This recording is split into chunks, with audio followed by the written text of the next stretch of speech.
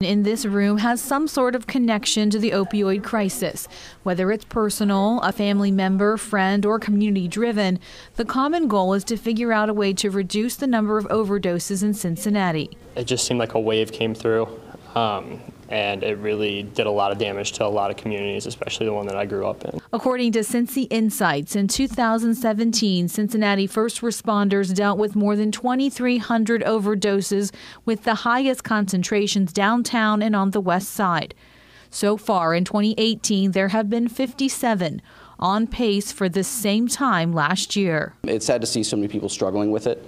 Um, and it's sad to see so many people lose so many things because of it. Hosted by the Talbert House in conjunction with UC's School of Pharmacy, several students are learning about the dangers of addiction, how it can start with overprescribing pain pills, and the importance of patient education. We're trying to get a little bit better with how we prescribe and how much we're prescribing so that hopefully in the future we don't have this problem. Ryan Jackson says one of the reasons he came was to get a Narcan kit and learn how to properly use it. It's I guess sort of empowering, maybe a little scary, but uh, I think that I'm prepared to help someone that you know may potentially be in a life-threatening situation.